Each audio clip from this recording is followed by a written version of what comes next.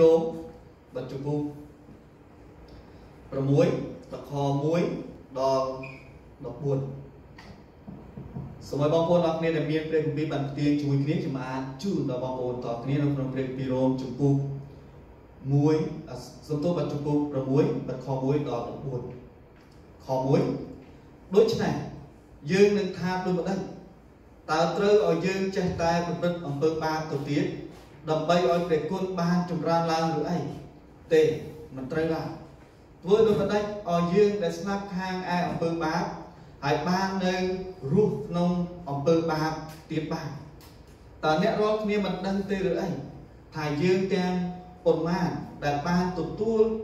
ជ្រមុជក្នុងព្រះយេស៊ូវគ្រីស្ទនោះគឺបានទទួលជ្រមុជក្នុងសេចក្តីសុគតនៃទ្រង់ដែរដូច្នេះយើងបានត្រងកប់ ជាមួយនឹងទ្រង់ហើយដោយទទួលជ្រមុជក្នុងសេចក្តីស្លាប់ដើម្បីឲ្យយើងបានដើរក្នុងជីវិតបែបថ្មីដូចជាព្រះគ្រីស្ទទ្រង់បានរស់ពីស្លាប់ឡើងវិញដោយសារសេរីល្អនៃព្រះវរបិតាដែរត្បិតបើយើងបានជាប់ជាមួយនឹងទ្រង់ក្នុងការដែលជាគំរូពីសេចក្តីសុគតរបស់ទ្រង់នោះក៏នឹងបានជាប់ក្នុងសេចក្តី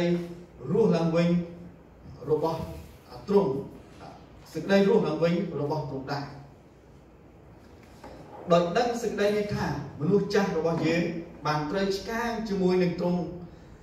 ជាមួយនឹងទ្រង់ហើយដើម្បីឲ្យទូអំពើបាបបានត្រូវសូន្យទៅប្រយោជន៍កុំឲ្យយើងនៅបំរើអំពើបាបទៀតឡើយត្បិតអ្នកណាដែលស្លាប់នោះបានរាប់ជាសុចរិតរួចពីបាបហើយបើសិនជាយើងស្លាប់ជាមួយនឹងព្រះគ្រីស្ទនោះ យើងជឿថាយើងនឹងរស់នៅជាមួយនឹងទ្រង់ដែរដោយដឹងថាព្រះគ្រីស្ទ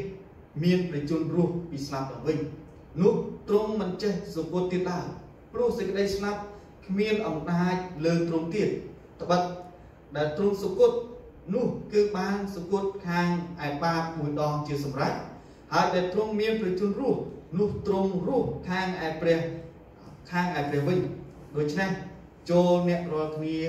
រាប់ខ្លួនទុកជាស្លាប់ខាងបាបដែរតែរស់ខាងឯព្រះវិញចុះដោយនៅព្រះគ្រីស្ទយេស៊ូវជាព្រះអង្គម្ចាស់នៃយើងរាល់គ្នាហេតុនេះ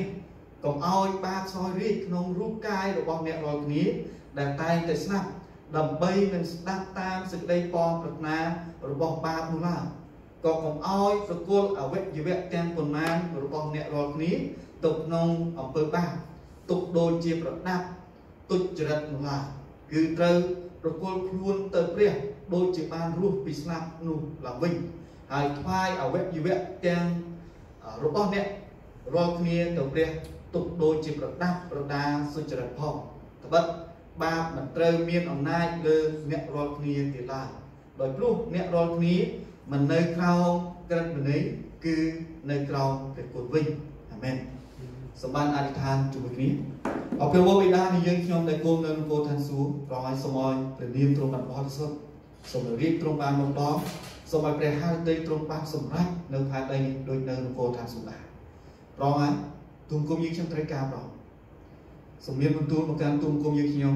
សូមដឹកនាំទូមគុំយើងខ្ញុំឲ្យបានយល់ព្រះទូលរងតាមរយៈព្រះវិញ្ញាណបរិសុទ្ធហើយជួយទូមគុំយើងខ្ញុំ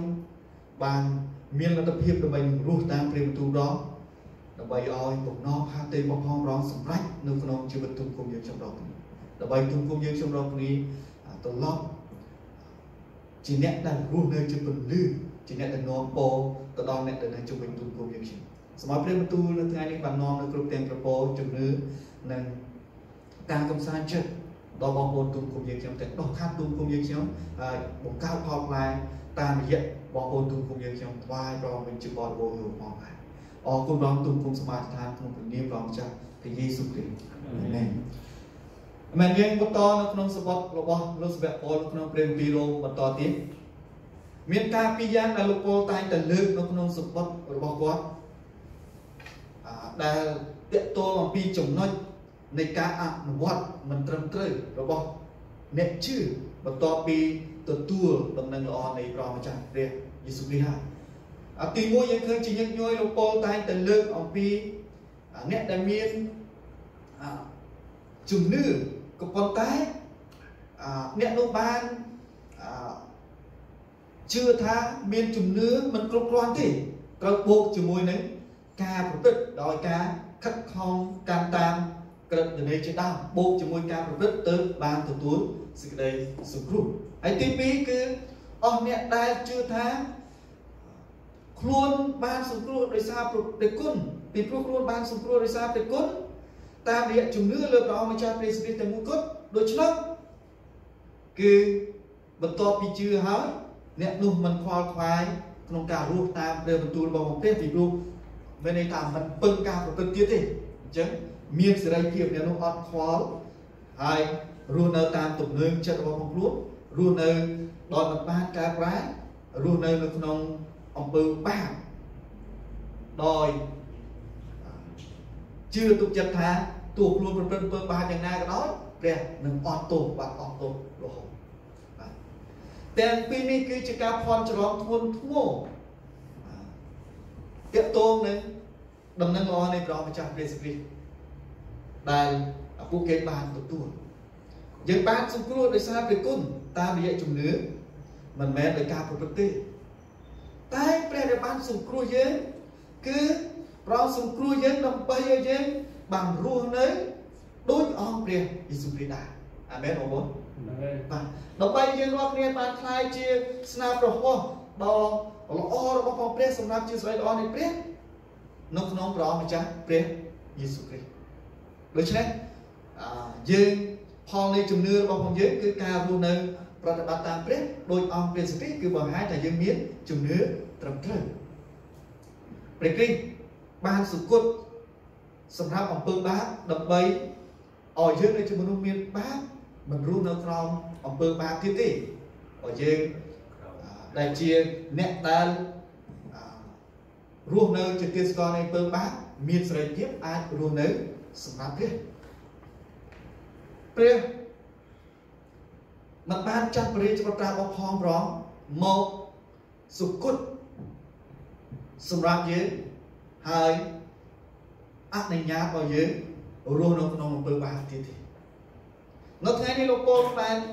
អាចជជែកលេខញែកពីចំណុចដែលតកតងនឹងអ្នកដែលជឿព្រះហើយក៏ប៉ុន្តែមិនអើពើក្នុងការរស់តាមព្រះបន្ទូលរបស់ ផងព្រះរស់តាមគំរូនៃព្រះម្ចាស់ព្រះយេស៊ូវគ្រីស្ទ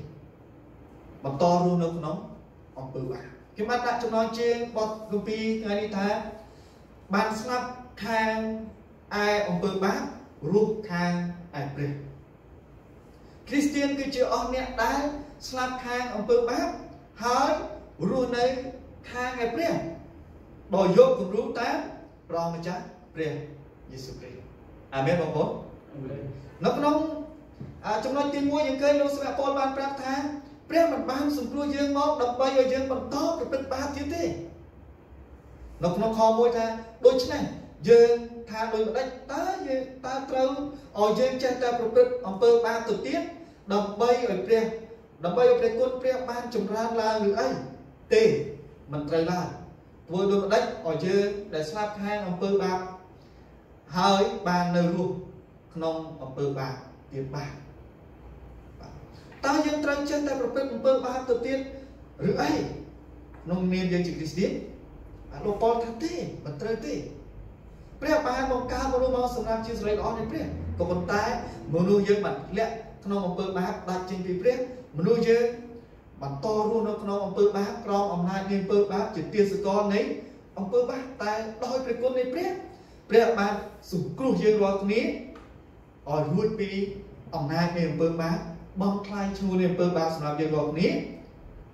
តាមរយៈព្រះអង្គម្ចាស់ព្រះគ្រីស្ទជាព្រះរាជប្រត្រាទ្រង់តែមួយដើម្បីឲ្យយើងរាល់គ្នាត្រឡប់មករស់នៅសម្រាប់ជាស្រីល្អនៃនៃព្រះវិញតើរស់នៅជាស្រីល្អនៃព្រះមានន័យយ៉ាងដូចម្ដេចគេត្រូវធ្វើតាមព្រះមិនរស់នៅតាមជីវិតចាស់របស់យើងតាមអំពើបាបនៅក្នុងអំពើបាប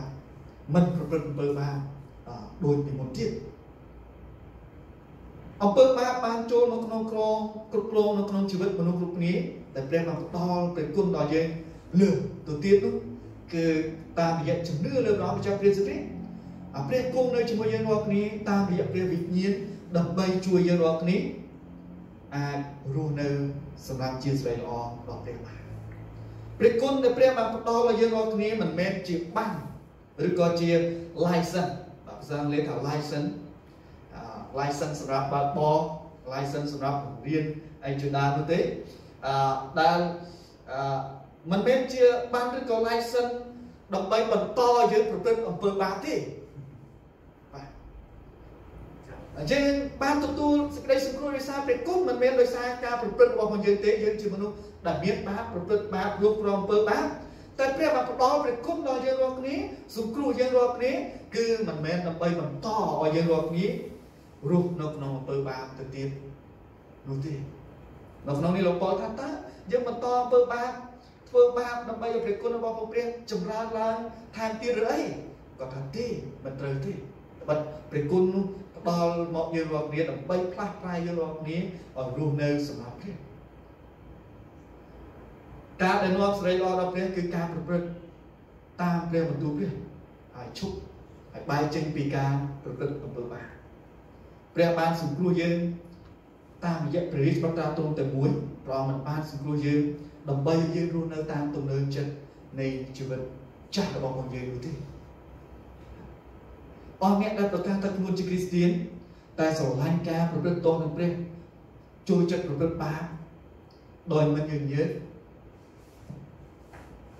ចូលចិត្តនឹងការដែលទោសនឹងព្រះគឺអ្នកនោះកំពុងតែមើងងាយព្រះគុណនៃព្រះនៅក្នុងព្រះម្ចាស់ព្រះយេស៊ូវគ្រីស្ទអាមែនហើយអ្នកនោះកំពុងតែដាក់ព្រះនាមនៃព្រះម្ចាស់ព្រះយេស៊ូវគ្រីស្ទឲ្យមនុស្សដែលនៅជុំវិញមើងងាយបន្ទាបបន្ថោព្រះនាមព្រះដែរព្រះបានផ្ដល់ព្រះគុណនិងសេរីភាពដល់យើងរាល់គ្នាសមត្ថភាពដល់យើងសាជាថ្មីនៅក្នុងព្រះម្ចាស់ព្រះព្រះយេស៊ូវគ្រីស្ទ គឺដើម្បីយើងរាល់គ្នារស់នៅសម្រាប់ព្រះព្រះមិនបានផ្ដល់សេរីភាពឲ្យយើងធ្វើតាមទំនើបចិត្តរបស់យើងទេតែទ្រង់បានផ្ដល់សេរីភាពឲ្យយើងមានលទ្ធភាពមានសេរីភាពនៅក្នុងព្រះគុណរបស់ព្រះដើម្បីរស់នៅសម្រាប់ព្រះជារៀងរាល់ថ្ងៃដូច្នេះលោកអ្នកបងប្អូនរាល់គ្នានៅក្នុងចំណុចទី1នេះសូមចាំថា ព្រះមិនបានសង្គ្រោះយើងរាល់គ្នាដើម្បីឲ្យយើងរាល់គ្នាបន្តប្រព្រឹត្តអំពើបាបទេមានអំពើបាបណាដែលយើងចូលចិត្តប្រព្រឹត្តយើងស្រឡាញ់មានការណាដែលព្រះអត់សពហាទេនៅក្នុងជីវិតរបស់យើងចាប់ពីពេលតទៅជួយយើងបែកចេញពីការបោះបង់ចោលការទាំងអស់នោះ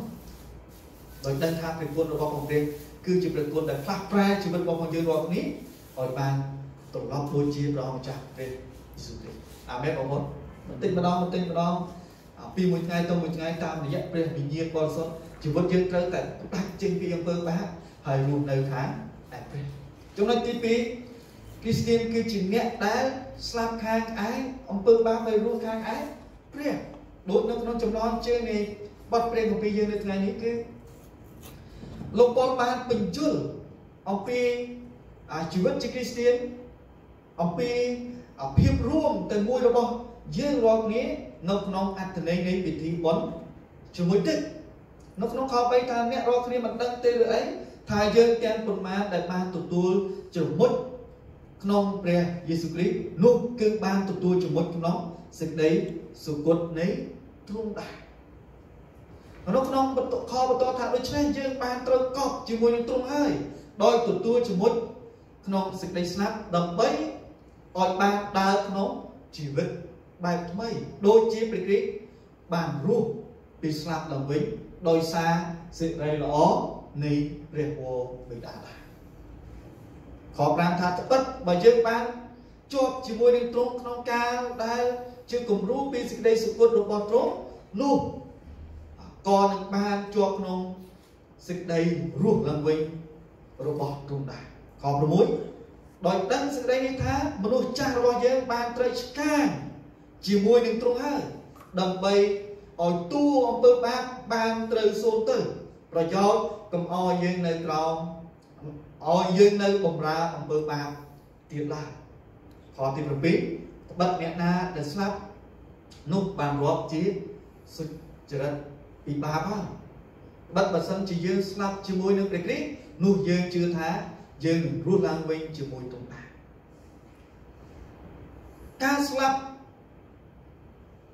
ខាងអំពើបាបគឺជាស្មោបន្ទាល់ដែលបញ្ជាក់ថាយើងបានរស់ឡើងវិញជាមួយនឹងព្រះអង្គម្ចាស់ព្រះយេស៊ូវគ្រីស្ទអាមែនបងប្អូនបាទរស់នៅក្នុងជីវិតបែបថ្មីតាមព្រះបន្ទូលរបស់ព្រះគឺបានបញ្ជាក់ថាយើងបានរួមជាមួយនឹងព្រះគ្រីស្ទក្នុងការដែលទ្រង់សុគតសម្រាប់អំពើបាបរបស់យើងយើងបានស្លាប់ខាងអំពើបាបជាមួយបងហើយយើងរស់នៅក្នុង ជីវិតថ្មីជាមួយទ្រង់ដូចដែរទ្រង់មានបញ្ជនរស់ពីសុគតឡើងវិញក្នុងខ9អសឿពលបានបន្តថាយើងដឹងថាដែលព្រះគ្រីស្ទទ្រង់មានបញ្ជនរស់ពីស្លាប់ឡើងវិញនោះមិនចេះសុគតទៀតដែរព្រោះសេចក្តីស្លាប់គ្មានអំណាចលើទ្រង់ទៀតយើងរាល់គ្នាដែលបានស្លាប់ខាងអំពើបាបជាមួយនឹងព្រះគ្រីស្ទមិនត្រូវរស់ មិនថាអំពើបាបមិនត្រូវសោយរាជនៅក្នុងជីវិតរបស់យើងទៀតទេនៅក្នុងនេះថាលោកប៉ុលបានប្រាប់ថាព្រះគ្រីស្ទទ្រង់មានប្រជជនរស់ឡើងវិញនោះមិនចេះសុគតទៀតទេបើយើងបានជាមួយជាមួយនឹងអង្គព្រះស្គ្រីស្ទបានទទួលអង្គព្រះស្គ្រីស្ទបានកើតជាថ្មីជាមួយនឹងអង្គព្រះស្គ្រីស្ទនោះមានន័យថាយើងបានរស់ឡើងវិញជាមួយទ្រង់តាមរយៈជំនឿ ហើយអ្វីដែលលោកប៉ុលចង់បង្ហាញនៅអទីនេះគឺថាដោយសេចក្តីស្លាប់ដែលគ្មានអំណាចលើព្រះអង្គម្ចាស់ព្រះសិរីទៀតនោះអំពើបាបមិនត្រូវមានអំណាចលើជីវិតយើងរាល់គ្នាដែលបានរស់ឡើងវិញជាមួយនឹងអង្គព្រះយេស៊ូវគ្រីស្ទទេបើសិនជាបងប្អូនងាយក្នុងការប្រព្រឹត្តបាបដោយគ្មានការស្ទាក់ស្ទើរគ្មានការជំនៀតចង្អល់ចិត្តស្រឡាញ់ការដែលព្រះមិនសពហើយទេ ធ្វើការដែលមិនថ្វាយស្រីដល់ព្រះជាញយដងដោយមិនភ្ញាក់រលឹកហើយស្រឡាញ់ការនេះញៀនការនេះមិនចង់បែរចេញអំពីការនេះស្រឡាញ់ការរស់នៅតាមបែបជីវិតចាស់ជួបងប្អូនរាល់គ្នាបានឆែកពិនិត្យមើលនោះតើខ្ញុំជាអ្នកដែលបានរស់ឡើងវិញជាមួយនឹងព្រះគ្រីស្ទពិតមែនដែរទេ ក្នុងខ10ថាត្បិតដែលទ្រង់សុគតនោះគឺបានសុគតខែឯបាបមួយដងជាសម្រាប់ហើយដែលទ្រង់មានប្រជញ្ញរស់ឡើងវិញនោះទ្រង់រស់ខាងឯព្រះការដែលយើងទទួលពិធីជាមួយទឹកមានថាយើងរួមទៅមួយជាមួយនឹងអង្គព្រះសិទ្ធិជីវិតយើងស្លាប់ខាងអំពើបាបស្លាប់ខាងឯជីវិតចាស់ហើយរស់ខាងឯជីវិតថ្មីខាងឯព្រះសម្រាប់ព្រះ សម្រាប់ជាស្រីល្អនៃព្រះគោលដៅនៃជីវិតយើងរបស់តអស់គ្នាជាគ្រីស្ទានគឺយើងរស់នៅក្នុងលោកីនេះសម្រាប់ស្រីល្អនៃព្រះដែលបានបង្កើតយើងដែលបានសង្គ្រោះយើងតាមរយៈព្រះរាជបត្រាតែមួយរបស់ផងរងគឺរងម្ចាស់ព្រះយេស៊ូវគ្រីស្ទអាមែនបងប្អូនអត្ថន័យនៃពិធីបុណ្យជាមួយទឹកគឺជាការរួមទៅមួយជាមួយនឹងព្រះយេស៊ូវគ្រីស្ទដោយដែលទ្រង់បានសុគតដោយព្រោះអំពើបាបយើងក៏បានស្លាប់ជាមួយទ្រង់ដែរ ខាងឯអំពើបាបដោយដែលទ្រង់មានបញ្ជូនរស់ឡើងវិញយើងក៏បានរស់ឡើងវិញជាមួយទ្រង់ដែរគឺរស់ឡើងក្នុងជីវិតបែបថ្មីក្នុងជីវិតថ្មីគឺរស់សម្រាប់ព្រះដោយយកគំរូតាមព្រះម្ចាស់ព្រះយេស៊ូវគ្រីស្ទលោកប៉ុលបានសរុបអ្វីដែលគាត់ចង់បញ្យល់នៅក្នុងខ11ថាដូច្នេះចូលអ្នករាល់គ្នារកខ្លួនទុកជាស្លាប់ខាងបាបដែរតែរស់ខាងព្រះវិញ្ចុះ ដោយនៅព្រះគ្រីស្ទយេស៊ូវជាព្រះម្ចាស់នៃយើងរាល់គ្នាចូលបងប្អូនរាល់គ្នាបានចាំថាយើងជាគ្រីស្ទានយើងជាអ្នកដែលស្លាប់ខាងឯអំពើបាបស្លាប់ខាងឯការអាក្រក់តែរស់ឡើងវិញខាងឯការល្អតាមបែបគាត់បានទេដល់ព្រះចូលបងប្អូនរាល់គ្នាបានចងចាំការនេះចូលបងប្អូនរាល់គ្នារាប់ដូចជាលោកប៉ុលបានលោកគាត់នៅទីថាយើងស្លាប់ខាងអំពើបាប ហើយយើងកំពុងតែរស់នៅខាងឯព្រះអាមែនបងប្អូនគ្រីស្ទានមិនមែនជាអស់អ្នកដែលរស់នៅក្នុងលោកកាយនេះល្អអត់ខ្ញុំទេតែគ្រីស្ទានគឺជាពួកអស់អ្នកដែលព្រះបានត្រាស់ហៅតាមរយៈព្រះគុណនៃព្រះហើយព្រះអង្គកំពុងតែបន្សុទ្ធយើងរាល់គ្នាតាមរយៈព្រះវិញ្ញាណបរិសុទ្ធដើម្បីឲ្យយើងរាល់គ្នាបានត្រឡប់ដូចជាព្រះម្ចាស់ព្រះយេស៊ូវគ្រីស្ទដែរឲ្យគ្រប់ទាំងកិរិយានៃការប្រព្រឹត្តរបស់ផងយើងរាល់គ្នា ផ្លាស់ប្រែជាថ្មីឡើងតាមរូបនៃអង្គព្រះសិរីទាំងពាក្យសម្ដីការប្រព្រឹត្តការគិតរបស់ផងយើងទង្វើរបស់ផងយើងបានដូចអង្គព្រះយេស៊ូវគ្រីស្ទបានលោកពលមិនបានមានន័យថាអ្នកជឿនឹងរស់នៅដោយគ្មានប្រព្រឹត្តអំពើបាបទេនៅក្នុងអ្វីដែលគាត់ចង់លើកឡើងតែគាត់ចង់បញ្ជាក់ថាគ្រីស្ទានគឺជាអ្នកដែលមើលឃើញអំពើបាបខ្លួនហើយលំទូស្អប់អំពើបាប បែរចេញពីអំពើបាបរាប់ខ្លួនថា ជាអ្នកដែលស្លាប់ខាងអំពើបាបគឺជាអ្នកដែលតស៊ូសម្រាប់អំពើបាបដែលនៅសេសសល់នៅក្នុងជីវិតដើម្បីរស់នៅសម្រាប់ព្រះកាន់តែល្អប្រសើរជាងមុនគ្រីស្ទានជាអ្នកអស់ជាអស់អ្នកដែលបានបដិញ្ញាចិត្តលីជឿឆ្កាងដើរតាមព្រះម្ចាស់ព្រះយេស៊ូវគ្រីស្ទអាមែនបងប្អូនអាមែន យកព្រះគ្រីស្ទជាគំរូហើយរស់នៅដូចធំនៅក្នុងចំណុចទី3លោកប៉ូលបានប្រាប់ថាកុំអោយបាបសោយរាជនៅក្នុងរូបកាយរបស់អ្នករាល់គ្នាខ12ចែងថាហេតុនេះកុំអោយបាបសោយរាជក្នុងរូបកាយរបស់អ្នករាល់គ្នាដែលតែងតែស្លាប់ដើម្បីនឹងស្ដាប់តាមសេចក្តីបងប្រាថ្នារបស់បាបនោះឡើយ ក៏កុំអោយប្រគល់អវយវៈ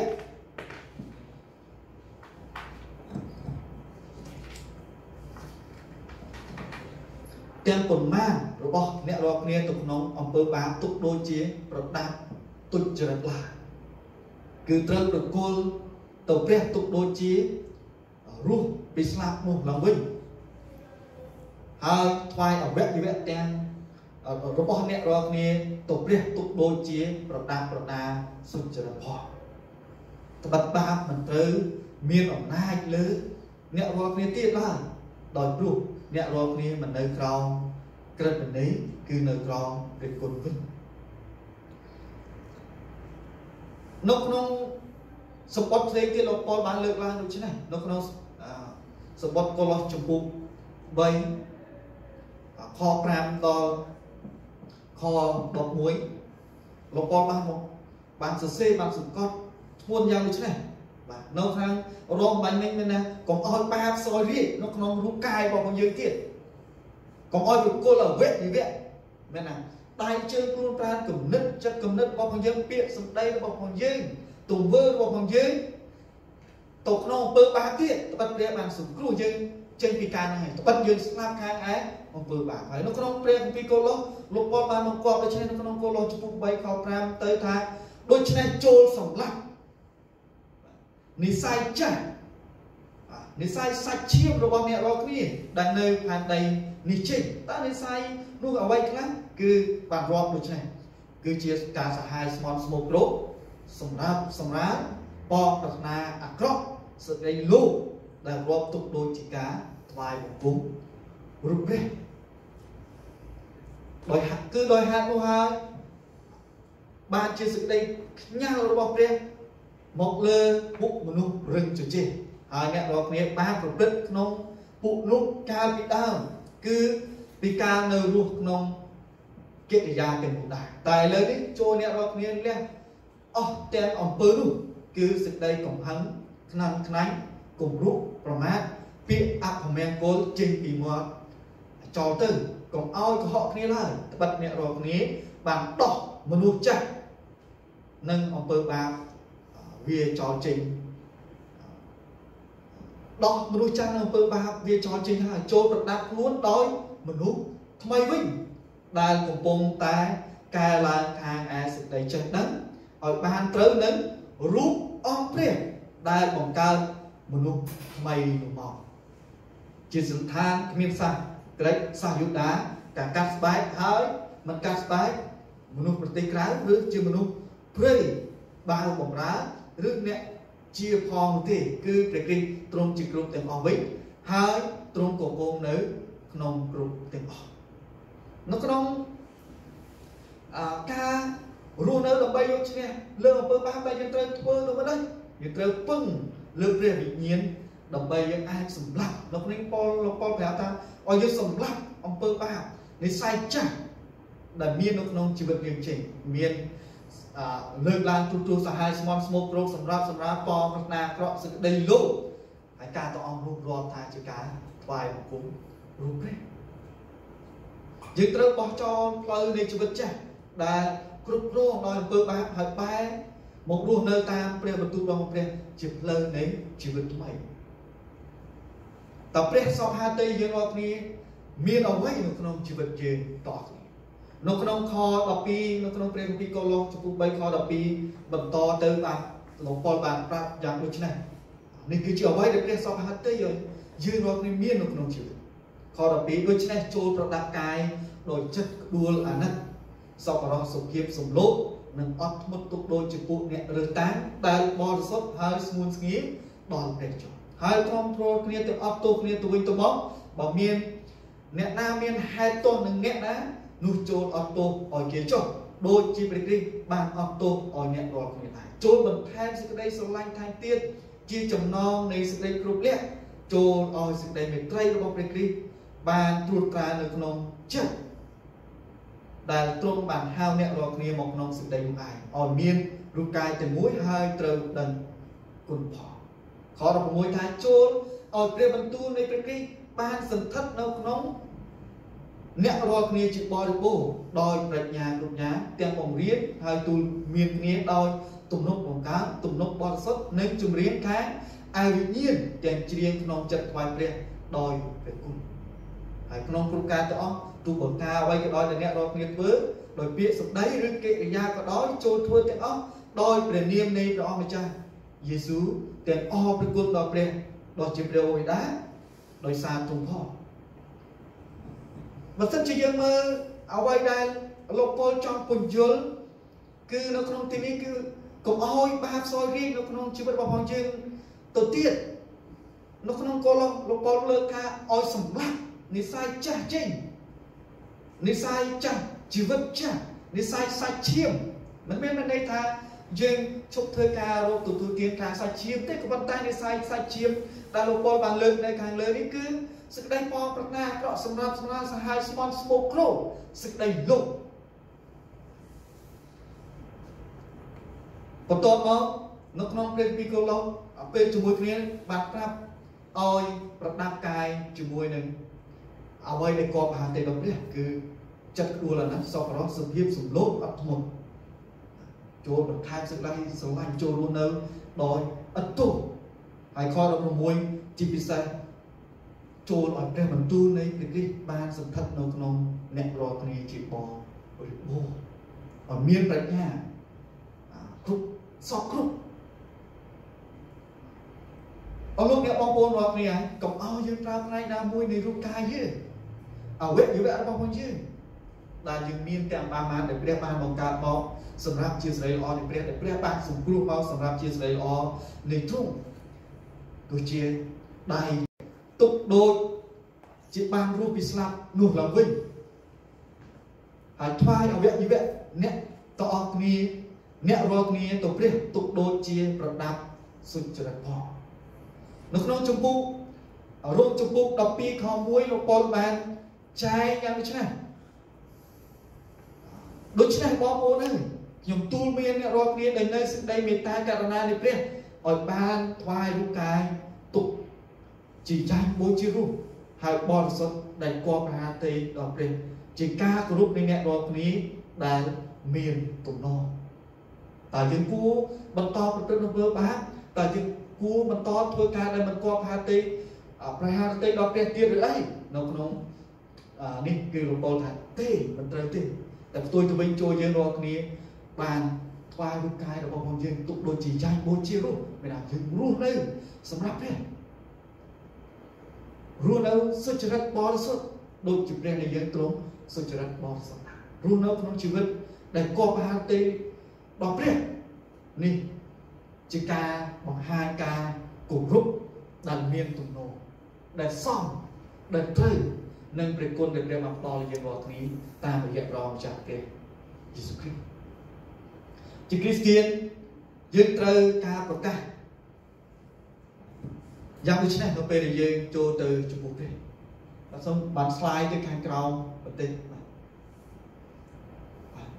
ប្រកាសយ៉ាងដូចម្ដេច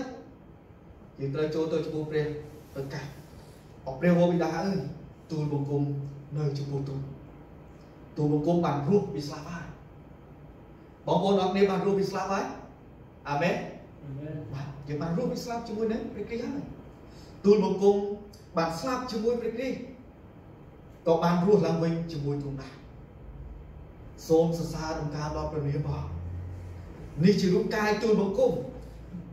ដៃជើងភ្នែកសម្លេងទូលបង្គំគ្រប់អ្វីដែលទូលបង្គំមានសូមទ្រង់ទទួលយកហើយប្រើជាឧបករណ៍នៃសេចក្តីសុចរិតសម្រាប់ជាសេរីល្អដល់ទ្រង់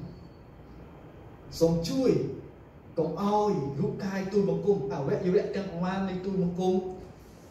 សូមទ្រង់ជួយឲ្យ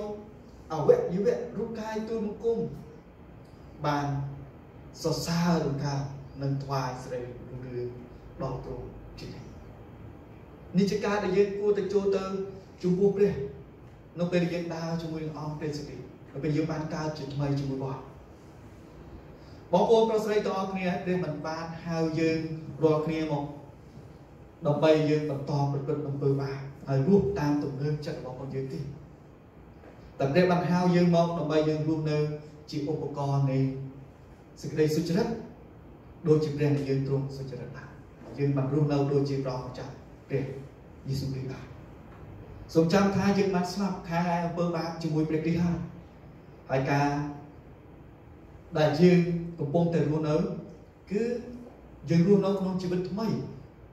ដោយអង្គព្រះសុគ្រីស្ទមានប្រជញ្ញរូបពីស្លាប់ដល់វិញដែរគឺរស់នៅសម្រាប់ជាសេរីល្អដល់ព្រះនៃយើងដែលបានបង្កើតយើងហើយដែលបានស្រឡាញ់យើងសង្គ្រោះយើងតាមរយៈព្រះម្ចាស់ព្រះយេស៊ូវគ្រីស្ទអរគុណជានេះនេះគឺជាគោលដៅនៃសេចក្តីសង្គ្រោះដែលព្រះបានសង្គ្រោះយើងចូលថ្វាយនឹងកាយយើងទុកជាយ៉ាងមួយជារស់ ហើយបរិសុទ្ធដែលគប់ហាទៅដល់ព្រះជាការគោរពរបស់យើងទៅចំពោះព្រះជាការដឹងគុណរបស់យើងតោះគ្នាទៅចំពោះព្រះឲ្យសមនឹងអ្វីដែលព្រះបានធ្វើសម្រាប់យើងរាល់គ្នានៅក្នុងព្រះម្ចាស់ព្រះយេស៊ូវគ្រីស្ទចូលឲ្យគ្រប់ទាំងអវយវៈនៃរាងកាយរបស់យើងតអង្គទាំងមូលបានថ្វាយស្រីល្អដល់ព្រះវរបិតានៃយើងដែលគង់នៅគោលថាសុ សូមឲ្យព្រះនាមព្រះអង្គបានលើកសរសើរកើសូមឲ្យសេរីរឿងព្រះអង្គបានប្រកាសសូមឲ្យសេចក្តីសង្គ្រោះរបស់ព្រះអង្គបានប្រកាសចេញអំពីរូបកាយរបស់យើងចេញអំពីអវយវៈទាំងប្រមាណរបស់បងយើងរាល់គ្នានៅចំពោះព្រះទៅដល់អស់អ្នកដែលនៅក្នុងលោកីជុំវិញយើងរាល់គ្នាជារៀងរាល់ថ្ងៃបើសិនជាបងប្អូនបានរស់តាមព្រះបន្ទូលព្រះ នោះគឺមានន័យថាបងប្អូនកំពុងតែរស់ក្នុងជីវិតថ្មីហើយក៏កំពុងតែរស់នៅជាអ្នកដែលនាំពោជាពន្លឺដល់អ្នកដែលនៅជុំវិញខ្លួនដែរ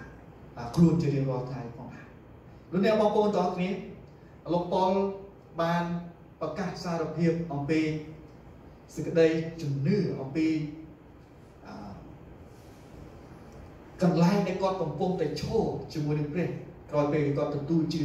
ក្រោយពេលគាត់ដើរតាមព្រះក្រោយពេលដែលព្រះបានផ្ដល់ពីគុណដល់គាត់នៅក្នុងព្រះគម្ពីរកាឡាទីបាទជំពូកទី2ខ20យ៉ាងដូចនេះសូមបងប្អូនដល់គ្នាបានអានជាមួយគ្នាកាឡាទីខ្ញុំបានជាប់ឆ្កាជាមួយនឹងព្រះគ្រីស្ទប៉ុន្តែខ្ញុំរស់នៅមិនមែនជាខ្ញុំទៀតគឺជាព្រះគ្រីស្ទទម្រង់ក្នុងជីវិតហើយដែលខ្ញុំរស់ក្នុងសាច់ឈាមឥឡូវនេះនោះគឺរស់ដោយសារជំនឿ ដល់ជឿដល់ព្រះរាជប្រធាននៃព្រះដែលទ្រង់ស្រឡាញ់ខ្ញុំក៏បានប្រគល់ប្រំទ្រង់ជំនួសខ្ញុំបានអាមែនថ្ងៃនេះយើងមុនពេលយើងបញ្ចប់ទៅយើងនឹងសរសើរការដល់ព្រះនៅបទចម្រៀងមួយបទនៅក្នុងសិភើទំនុកខ្មែរបរិសុទ្ធលេខ252បាទសូមអឺអ្នកភ្លេងបានជួយបានសរសើរការព្រះជាមួយគ្នានៅក្នុងលេខ252ឥឡូវខ្ញុំបានដឹងជាក់ហើយ សូមឲ្យបងប្អូនរាល់គ្នាបានសរសើរការជាពិសេសយើងបានប្រកាសទៅកាន់ព្រះជាមួយគ្នាហើយឥឡូវនេះយើងរាល់គ្នាបានដឹងជាក់ហើយខ្ញុំបានជាក់ហើយខ្ញុំបានដឹងជាក់ហើយថាខ្ញុំជាអ្នកណានៅក្នុងអង្គព្រះសិទ្ធិសូមយើងបានសរសើរការព្រះជាមួយគ្នាហើយបទនេះគឺពូនចេញអំពីការប្រកាសសារភាពរបស់សិលពលនេះឯងហើយក៏ជាការប្រកាសសារភាពរបស់យើងតគ្នាផងដែរសូមយើងបានសរសើរកា ររំពឹ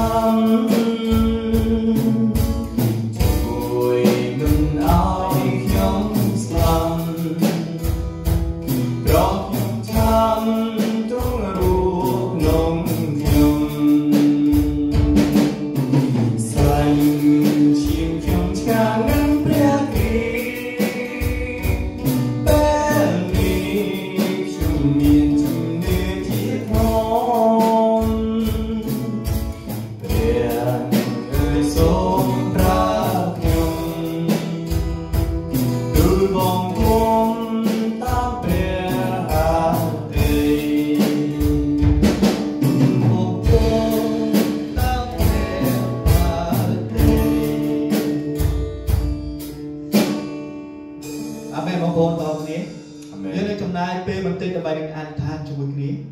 តាមរយៈបទព្រះបន្ទូលនៅថ្ងៃនេះជាពិសេសសូមយើងបានពិចារណានៅក្នុង